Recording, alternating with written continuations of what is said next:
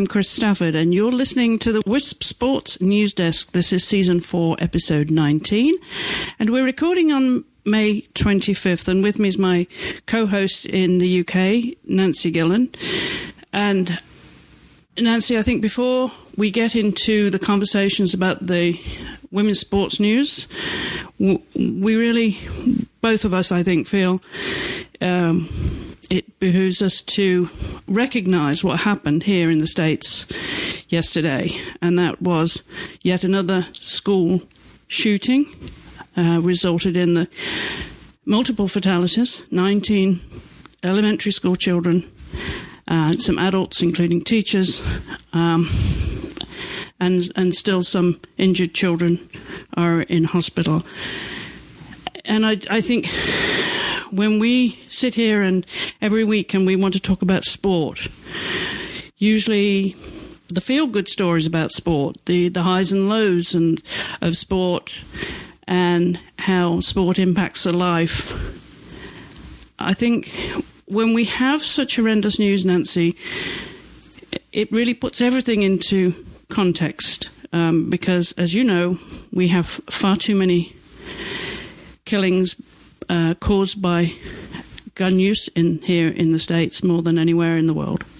So I, I just want to say before we get into the sports news this week um, that we both of us uh, are thinking about this. Obviously, like so many people in the world, and certainly it's in the hearts and minds of most people here in the States this morning um, that we really want to reach out and extend our condolences to everyone that's been impacted by this um, because it, it's just horrendous thinking of how all of those families, Nancy, um, that are without children, the communities, their friends, the children that have survived, and how they have to all move on. It's it's really hard to comprehend the grief that they must all be feeling. So uh, I don't know if you want to add to that, Nancy.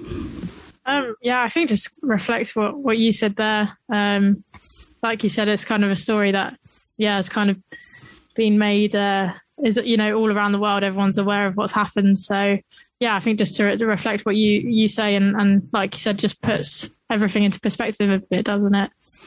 It really does, um, and and we just want to extend our our condolences to to to everyone that's been impacted by this, um, near and far, and however close or not close you were to this, but it it really does have a devastating impact on on us all. So, um, with that uh, Nancy, um, I know we've got a lot of sport to talk about again this week, and we're going to lead with football because I know there's a lot of football news one way or the other. So I think the good news, let's start with some cheery news, um, which came out of uh, Europe last weekend, and it was a, a, game that we both watched, the Women's Champion League. That was some wonderful soccer, football, sorry. That was some wonderful football there. A very, very entertaining. It was, yeah, and it was two um, heavyweight teams in, in, in women's football in Europe, so Barcelona and Lyon. Um, and yeah, interesting kind of dynamic between the two teams because Lyon are, are kind of traditionally uh, the powerhouses in Europe, so they've won um, I think it was uh, well now they've won eight uh, champions women's Champions League titles uh, in the past decade. Um, but it was Barcelona that won the Champions League last season when Lyon were having um, quite a significant dip in form. So I think uh, as well there's the whole uh, narrative that kind of Barcelona are currently the best team in the world and they've you know been getting in you know 90,000 people to watch them at stadiums and they've kind of you know, seen as the pinnacle of women's football. And I think uh, a lot of, um, well, I think there's, you know, Lyon, but also I think other footballers as well maybe saw that as a bit, you know, the narrative around Barcelona as a bit disrespectful to Lyon when over the past 10 years they've been technically the most dominant force of women's football. So yeah, there were a lot of different kind of narratives around the final, which, which made it more exciting. And then the, the action on the pitch itself was also just brilliant. I think for, for anyone that didn't see it, it was um, 3 1 to Lyon, but all four goals came in the first half. Um, so Lyon went 3 0 up and just kind of completely obliterated Barcelona in the first. something like 20 minutes. Um, Barcelona got a goal back. And then in the second half, it, they were really threatening. And there, there was a point where Putellas hit the crossbar from the halfway line. If that had gone in, it could have been a completely different game. Um, and they had a lot of uh, good chances missed, really. So I think they will. You know, it wasn't it wasn't completely one sided. It was a very open game, and and yeah, Barcelona definitely had their chances. But it was just brilliant. It was so entertaining, and I know um, uh, you want to talk a bit about Amandine Amandine Henry's goal. yeah. um, the opener goal, opening goal in six minutes. I think that goal just set the standard for the whole match because yes, it was six minutes in. I think she was like 25 yards out, if not more. Uh, she just got the ball and absolutely smacked it uh, into the goal, and it was it was it was brilliant. It was one of the best goals I've seen uh, all year. Uh, well, I think one of the best goals in, in football. I mean, all credit to her because we should just back up a little bit here. She um, she had a tackle um, just before that uh, when which she fell. So she composed herself. She had about, I think, about five or six very short strides to compose herself after she got up from that tackle, um, and and just hit hit it, smacked it right into the corner of the top corner of the net top right hand bin, I think it was.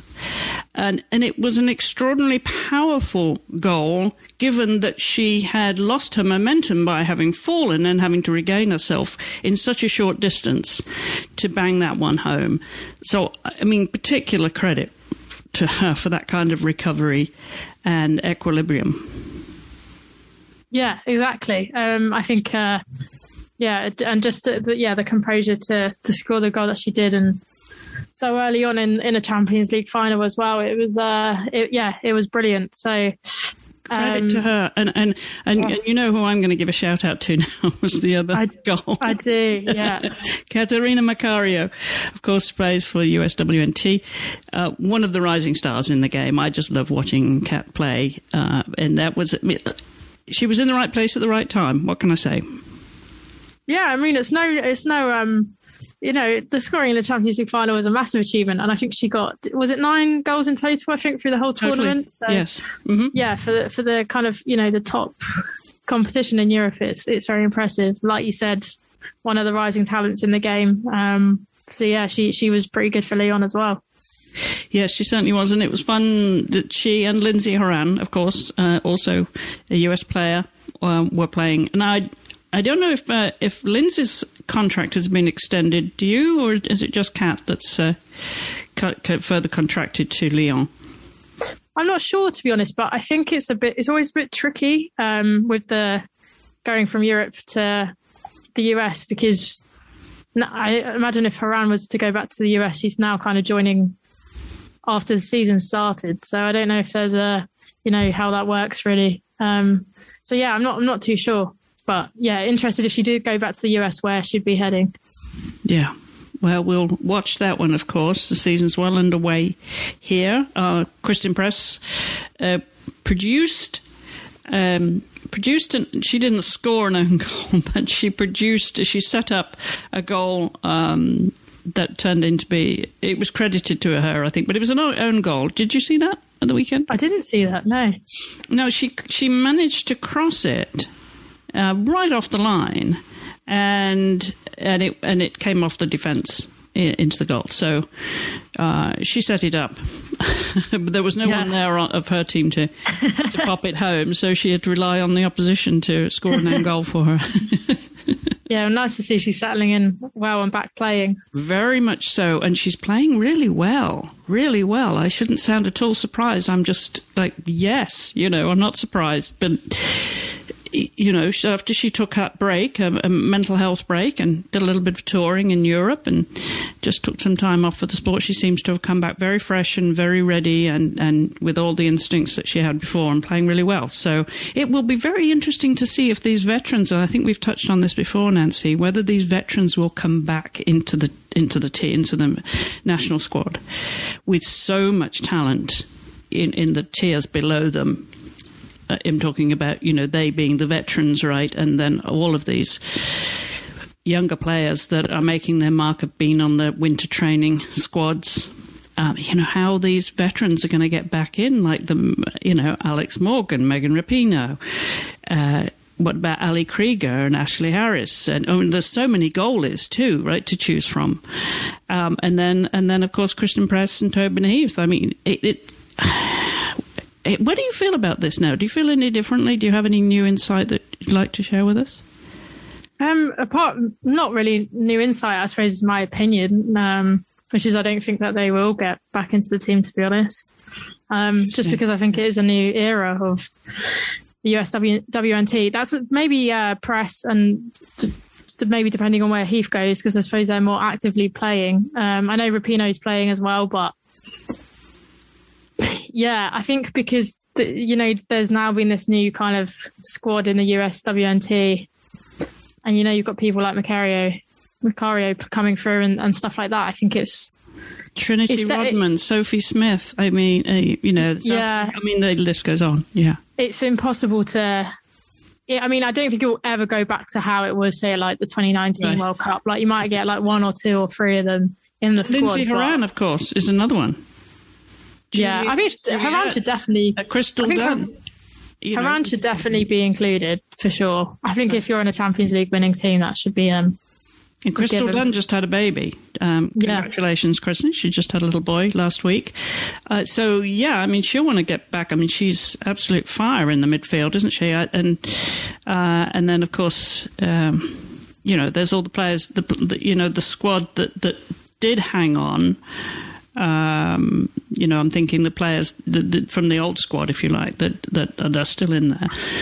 But yeah, I think it will be. Um, you know, Rose Lavelle is one that comes to mind. You know, she's still playing on the squad. She's still named on the squad. She's still playing very well. But likes of Julie Ertz, uh, yeah, I wonder when if she'll ever come back and if if they'll make room for Crystal Dunn. You know, we will see. It's it's going to be an interesting year because uh, World Cup's not that far away, right? We don't no, have the Euros. Up to, coming up to a year away. Yeah, just pretty close. Any more on the Women's Champions League then? Did that tell you anything differently about the, the state of play in Europe right now with the Euros coming up this summer?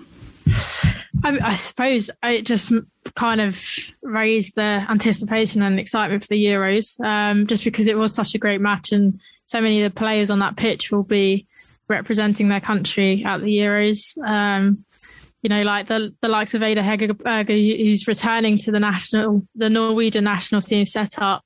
You know, the, the, large majority of the Spanish team play for Bar, so you've got a lot of French players. Um, I thought Bacha, Selma Bacha, the um, one of the Lyon defenders, was brilliant and she's going to be in the French national team. Um, so yeah, it just made me more excited. Just shows how competitive the Euro is going to be. I'm, especially considering when there was not a single English player in either of those two teams.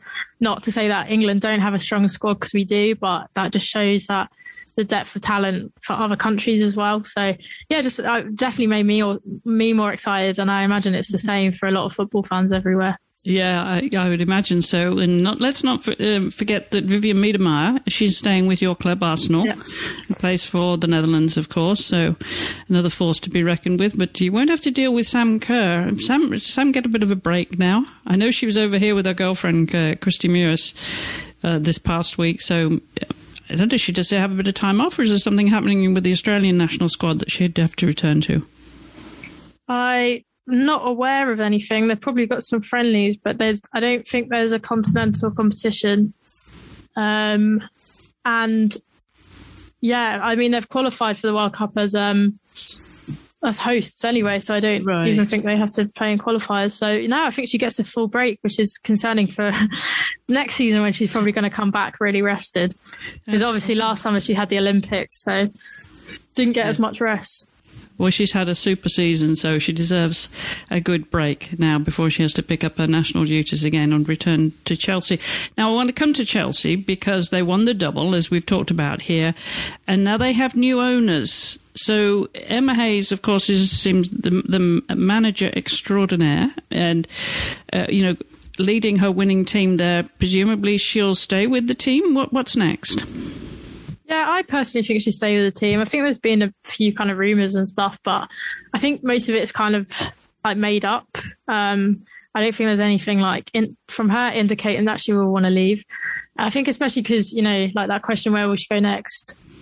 apart from going into like a very good team in men's football, I can't really see her um, kind of moving. Like, why would she go to any other team in women's football? Mm-hmm. I suppose the big thing for Chelsea now is is the Champions League, like, um, which you know we just talked about Lyon and Barcelona being the two dominant teams in Europe. Um, I mean, Chelsea went out in the group stage last season. Uh, Arsenal were the the team from England that went the furthest and they got to the quarterfinals. So like the English teams aren't quite there yet. I know Chelsea got to the final um, when Barcelona won, but yeah, I think for her it's going to be the Champions League and like really pushing on to. She's won a lot of trophies in England now, so it's about looking to Europe. I think, um, and yeah, like you said, they've, they've, got new owners. I think that's quite interesting. So it's a guy called Todd Boehly who's um, taken over, and he is already a part owner of the Los Angeles Dodgers, and I know he's also got ownership of the Los Angeles is it Sparks, the WNBA team, and then he, there was also he was also part of a bid to take over. I think it was North Carolina Courage, um, which didn't happen. I think because he was then going to Chelsea, and that would be conflict of interest. But he obviously sees value in women's sports and women's sports teams. Um, so that bodes well, I think, for Chelsea for the women's team uh, because he obviously sees yeah the value in it and will probably be willing to invest and and make sure that Chelsea stay the best team in England and yeah potentially win the Champions League in in maybe maybe next season but you know in the next kind of few years or so. Yes, I'm sure she'd love to get her hands on that trophy. Uh, well, yeah. let's let's move on to um, um, other news of you know women m- making history in women's sports um, and in football particularly because you mentioned the men the men's game and, and it would be interesting wouldn't it to see uh, you, you, you wouldn't be surprised let's put it this way if a if a ma- male team men's team did want uh, to Emma Hayes um, as their manager. But we want to talk about some female referees now that are going to be refereeing um, the World Cup. They're officiating the World Cup for the first time. So that's another milestone for women in football. Yeah, a massive milestone. Um, so this is the Men's World Cup that's uh, happening in Qatar in uh, November and December. So um, yeah, 36 officials picked in total, including three women. So that's uh, Stephanie Frappart, Salima Mukansanga and Yoshimi Yamashita. Um, so Frappart in particular, I know I have heard of because um, she's officiated a lot of men's matches before, and I think she was involved in um, an England match, like an international match. Um, so yeah, she's she's relatively well known. And then uh, Mukansanga as well. She um, refereed at the Women's World Cup and the Olympics, and then similar to Yamashita as well, who's also done that and has a was the first female referee to take charge of an um, AFC Champions League fixture, so the Champions League in Asia.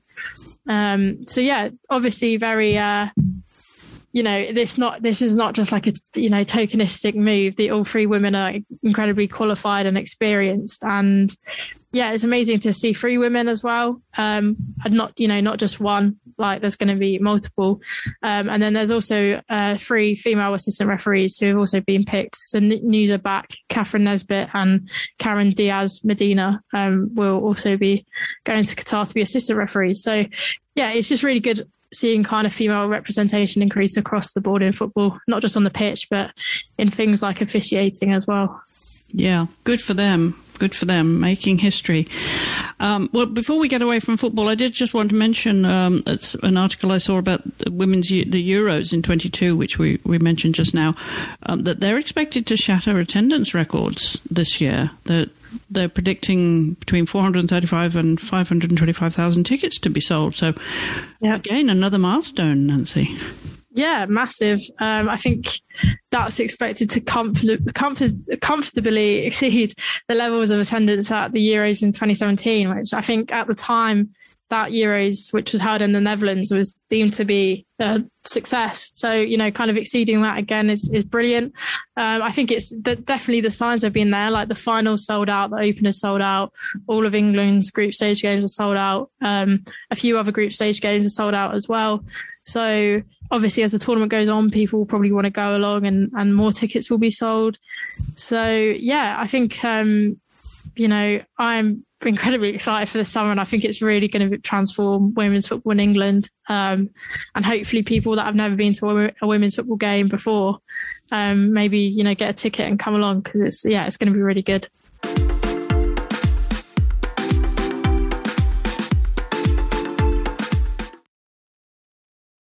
All right. Well, uh, as we mentioned last week, the French Open Tennis Championships were beginning this past weekend on Sunday. We're into now uh, fourth day of play, Nancy, and there've been some major upsets, haven't there already?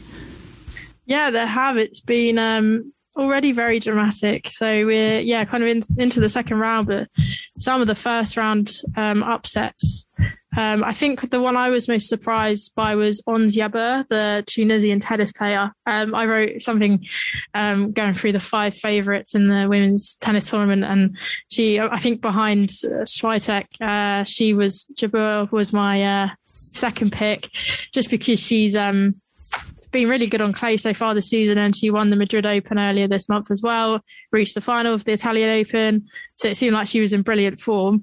But yeah, lost in the first round of of the French Open uh, to Poland's Magda Linette. So um, yeah, that was a bit of a shock. I think she was kind of expected to, yeah, really kind of you know I think her half of the draw will be pretty um, happy that that she's gone out because she was a big threat.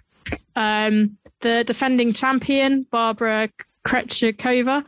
Um, she, yeah, she won the French Open last year, um, which was a bit of a surprise as itself because she was an un- unseeded player. Um, but yeah, she again. I think this is kind of maybe less of a surprise, and it's an upset because of her status as defending champion. Because she hasn't played uh, recently because of um, I think it was an elbow injury that she picked up at Indian Wells. So she came back in time for the French Open, and yeah, I think it was an issue of lack of fitness. Um, but she probably, you know, came back a bit early because she wanted to defend her French Open title. But yeah, it was seemed like it was a bit too early for her, and, and she is she has gone out. Uh, Garbine Garbine Muguruza, the Spanish player, uh, she's another former winner at Roland Garros, but this was quite a while back in 2016. Um, but still, she, you know, she's been fairly in form recently and won the WTA finals last year. Um, and yeah, I think uh, lost to Kai Kanepi. Um, so she's kind of. I remember as well the Australian Open. She there was there was I can't remember who she beat, but she's she's kind of quite uh, one of those players that is not too high in the rankings, but always seems to upset some of the big names. Um, Naomi Osaka's out, so she lost to Amanda Anisimova, uh, the same player that she lost to at the Australian Open in right. January. Yeah, yeah. yeah. Uh, she seems to have got the hang of it, doesn't she? So yeah, she does, and she she always seems to come off against her at Grand Slams as well. Yes. Yeah. So yeah, on. and then yeah. Anett Kontaveit as well, the fifth seed. Um, she lost in straight sets to Australia's Ajla Tomljanovic. Um, and yeah, Emma Raducanu lost today as well. So maybe that's not too much of, a, of an upset, but I suppose that's the, the current US Open champion going out of the tournament. So yeah, a lot of a lot of um, kind of favourites and seeds going out, but for me, it's still kind of maybe not irrelevant, but just in the form that Iga Swiatek's in at the moment, you can't, you know, she she definitely is going to win it. Like I would put, I'd be very, very, I'm very, very confident that she is going to win it. So you know, despite all these people that have gone out, uh, Swiatek probably would have found at some point she would have come up against them and beat them anyway. So yeah, but it's been very exciting so far. Yeah, super exciting. Well, I can see where your confidence lies. And but whilst the players are really wanting to be focusing on Roland Garros, right? They, have been distracted somewhat with the news coming out of Wimbledon that um, they're going to they, they're going to um, remove rankings points from from Wimbledon, uh, which is coming up in a couple of weeks. Uh, no, three weeks. Three weeks in June, uh, and this this has been a major distraction for them, isn't it? And, and, those those points have been stripped after Russian and Belarusian players were banned from competing um, at, at, Wimbledon um, because of the uh, Russian invasion of Ukraine. So, where does this leave the other Grand Slams, Nancy? That's what I'm thinking. Yeah, I mean, I suppose because it is it. I found it all very interesting, just in the grand scheme of things, that tennis's reaction to, um, you know, banning uh, the Russian and Belarusian players has been completely different to every other sport because it's happened in every other sport and people have accepted it, and that's just been the the what's ha- the process what's happened basically. In tennis, it's very different. Um, so they've Russian and Belarusian players they uh, haven't been banned, but they have their like there's no sign of their nationality. They don't uh, have the flag. Uh, the flag doesn't appear next to their name. They don't, you know, their anthem isn't played. All of that. Um, but they're still allowed to play every tournament, and that's been what's happened since uh, February until yeah Wimbledon banning them.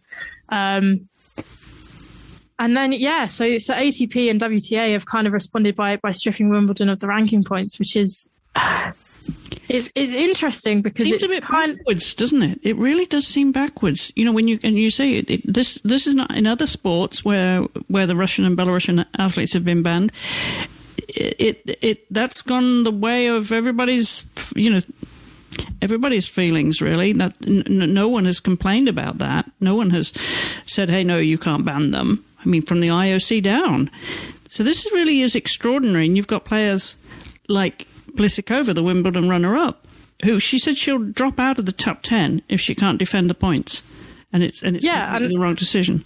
and I think it, the Australian player that we were talking about before that beat Kontaveit in the French Open, uh, Tom Javonik. Um, She because she reached the quarterfinals of Wimbledon last year, um, so the majority of her ranking points come from Wimbledon. Because she can't defend them, she's just going to fall like massively, like 40, 50 places down to like 80th or something. Extraordinary. Um, it's yeah, and I think that's why for me it doesn't quite make sense because ATP and the WTA have made this deci- decision because they said you can't discriminate against players, but then that their decision seems to discriminate against players because there's going to be players that are going to like fall down the rankings.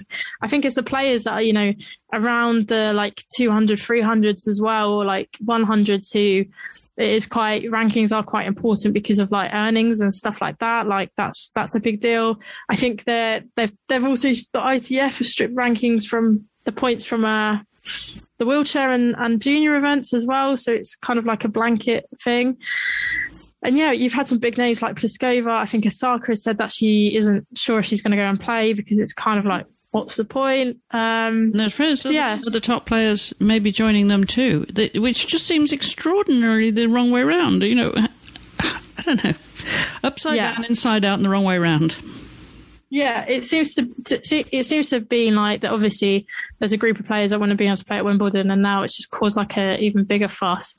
Um, yeah, the whole thing I find I just I do find very interesting. Yeah, tennis seems to be the inverse of the rest of sport and their, their attitudes towards it. Um, you could probably do a deep dive into why and and how that's come about, but but yeah, it's uh, it's a shame because obviously Wimbledon is such a great tournament, and well, this is overshadowing, like you said, the French Open. It will overshadow Wimbledon, and it's just it is a shame that whoever wins Wimbledon, it doesn't mean as much, basically, you know, or whoever it doesn't, it does.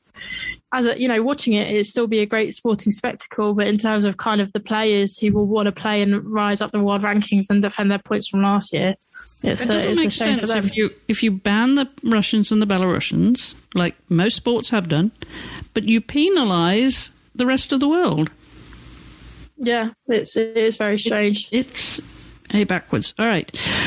We'll keep you posted here. If that, you know, that might, I don't know whether Wimbledon would um, back out on this one, whether they would uh, rethink it after the storm that it's created. But you know, they haven't got much time to do that, so uh, I'm not holding out any hope. But we'll keep you posted here on the show as always.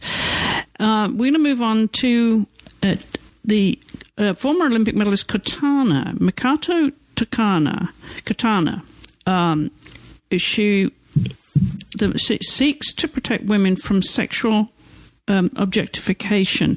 This is a story out of Tokyo, isn't it, Nancy? That was on Inside the Games. Tell us about that because that's interesting, given what we've just lived through with that Tokyo. Yeah, it is, it is quite interesting. So, yeah, Kotani was the sports director for Tokyo 2020 for the Olympics. And um, yeah, during, she, she's kind of essentially working to stop female athletes from being uh, sexually objectified, kind of when they're um, photographed. So during the games, there were um, a series of measures that were introduced to ensure that this didn't happen. Um, so yeah, she's spoken to kind of Kyodo News about uh, what what they did at the games and, and how she's kind of continuing to do this work. So, yeah, during the games, she said that they had the right to check images that people took that were deemed suspicious and ask people to delete them. Um, and that the rule was clear, so violators would be ejected, rejected, and that she said that athletes perform better when they were in a um, safe environment.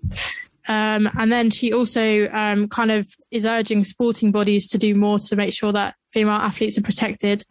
So um, she said sporting organisations have to find creative ways to stop covert photography. I hope our efforts at the Tokyo Olympics improve Japanese society and lead to a best future. Our work only becomes meaningful when that happens. Um, and she also praised, I, I, don't know if you remember this, Chris, but the German gymnastics team who um, didn't wear a leotard for the for the competition. They right. wore like a unitard, so they wore their yeah. trousers as well. So yeah, I think Kotani there um, kind of praised them because the, the, they wore the unitards as a protest against the sexualization of women in sport. And uh, yeah, Kotani said she was impressed at how they took action to empower female athletes and promote values through sport, rather than just thinking about how to win or perform well competitively. So yeah, it's a, quite an interesting interview. If um, yeah. well worth a read. Definitely. Well, good for her. All right. Oh, we've got a, a doping ban, a story, which we haven't had for last few weeks. Uh, so tell us about this one. Uh, something about acne medication.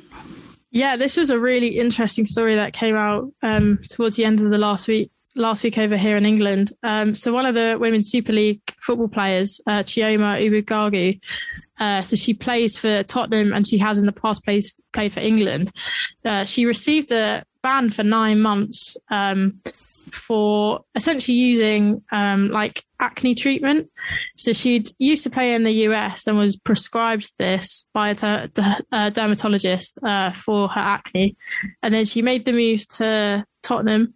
Um, and then, yeah, basically kind of the she explained later i read an, an, interview with her where she because she moved during the, the, pandemic all the medicals and stuff were done virtually so somehow this uh, medication that she was on um, or like putting on uh, slipped through the cracks so she only found out when she'd like uh, texted the team physio saying that she wanted um, a re-subscription re, uh, you know, to get an, a repeat pres- prescription and texted him what it was that he was like, oh, this is a banned substance here. Um, that she realized.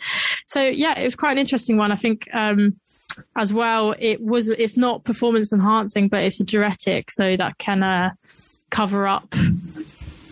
That's why it's on the banned substance li- list because it, it can cover up other substances that people may, may take to enhance their uh, performances.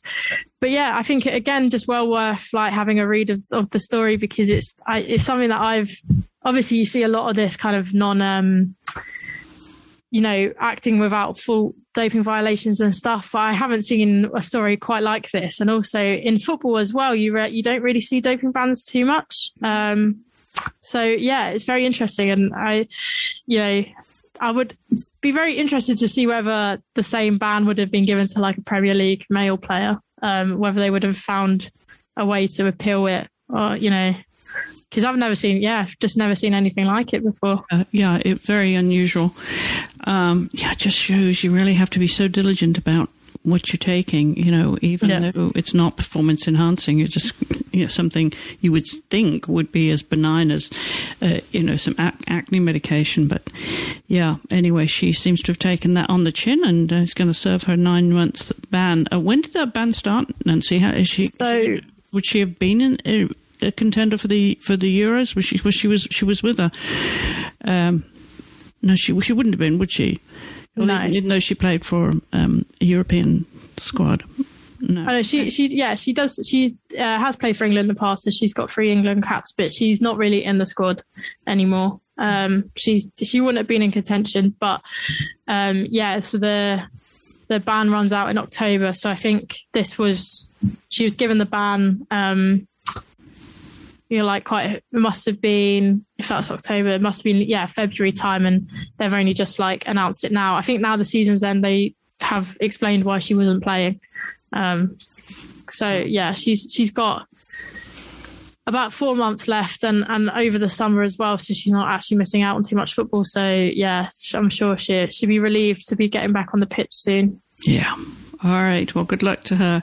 And we're going to wrap up this week with um, a happy, another happy story, a happy story about motor racing. Because if there's one name that we've become very familiar with here on the show when it comes to motor racing and specifically the W Series, is British driver Jamie Chadwick. It, the the rest of them simply cannot catch her, can they? She won again. Yeah, she's having an incredibly dominant start to the W Series um, season. So she secured her third W Series win uh, in Barcelona. Um, so yeah, she she's basically just no one can really catch her. I think every race we, we when we talked about it before, she's always been um, challenged by Abby Pulling and Alice Powell. They've always gone really really close to her for the majority of the race, but then Chadwick uh, just pulls away at the end. Um, so yeah, she's got she's got maximum points, is at the top of the leaderboard on seventy five points, and uh, next is Abby Pulling on 38 and Alice Powell on 33. So she's she's already got an incredibly uh, healthy uh, buffer between her and, and her opposition. So if she was to win um, overall, it would be her third W Series title uh, in a row, which just shows, yeah, how dominant she is. Well, she's got to wait a few weeks now because uh, they don't come back until Silverstone in England, um, in, um, in, Northamptonshire. That's on July 1st and 2nd. So she's got a bit of a break here. But I'm looking at the, the you know, you get related stories um, and Chadwick's headlines like Chadwick starts on in pole, Chadwick wins again, Chadwick wins W Series, and on it goes. Chadwick starts hat, hat trick bid. Uh, it's going to be all about her this season. but, you know, it's a tremendous tremendous experience and grounding for her, and hopefully another rung up the ladder towards Formula Two, Formula One for her. Yeah, I mean, it's definitely the aim for her. And uh, like you said, well, I think it shows kind of her dominance that she's maybe needs more of a challenge anyway. So I would hope that if she does win the W Series this year, it's next year she will be yeah work starting to work her way up the F the F three, F two, F one ladder. Yes, Jamie Chadwick, British driver extraordinaire. Well, good luck, Jamie. We will be following you for the rest of the series. And as I said, that starts up again in July in Silverstone. Have you ever been to a Formula One track, Nancy? I have. Oh, I, no, I haven't. I've, I've, because I've been to Monte Carlo. I've seen like that's like in the city. So I've, I haven't been there when there's a race on, but I've like seen it. But oh, potentially might. Yeah. Yeah, I, I might be able to. Hopefully, maybe get to Silverstone this year, but we'll see keep keep keep. I'll keep you posted on that. That's a great uh, track. I actually, um, yeah, I went to a Formula One race. You know when when yeah, they have the Formula One some years ago, the British Grand Prix, um, and also.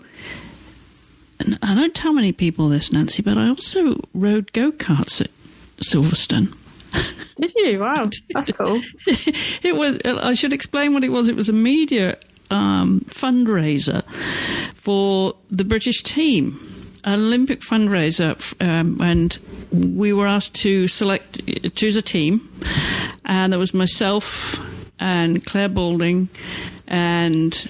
Um, Elizabeth Firth, who's a photographer, Kit Houghton, another photographer, and Kate Green, who's a journalist. Um, and I have to say, it was darn good fun because we were out there on the track, you know, on the part of the track. Uh, extraordinarily good fun. And we raised a good deal of money um, for for the British Olympic team. So, hey, uh, don't ask me to do that again, though. No, it sounds like, sounds like a great experience. Yeah, it was great fun. All right, well, that just about wraps it up for this week, Nancy, doesn't it? Uh, unless you've got any other breaking news, because I know you've got some personal breaking news, haven't you? You've got a big event this weekend. Well, yeah, going up to the Lake District to do a trails half marathon, um, which yeah should be an interesting experience. I haven't done too much training. Um, but even if it's you know you're just walking up the hills and running down, that's that's fine by me. So yeah, it should be really really fun. looking forward to it. Well, yeah, it should be all about having fun, right? It's it's not like the London Marathon, which you are setting out now to win one day. so this is all about this a fun in between event for you. Yeah, exactly. This is this is a, a day off from my hardcore endurance running training. I love it. I love it. Well, hopefully you, you get some decent weather. You know, perfect con- temperature for for running, and, and have a great weekend there. And you're doing it with some friends. Yeah, that's right. So yeah, we're camping and then doing this run. So yeah, I'm really looking forward to it. All right. Well, good luck with that, Nancy. You'll, you'll tell us about it, how it goes next week here, I'm sure, on the show. Now, before we go, I want to give a shout out to Marcy Corniger. You know, you know, Nancy Marcy is hiking the Pacific Crest Trail. She, she and I recorded our first episode of the Amazon special series about her hiking the, the PCT, Pacific Crest Trail, which is on the west coast here of the States, 2,650 miles.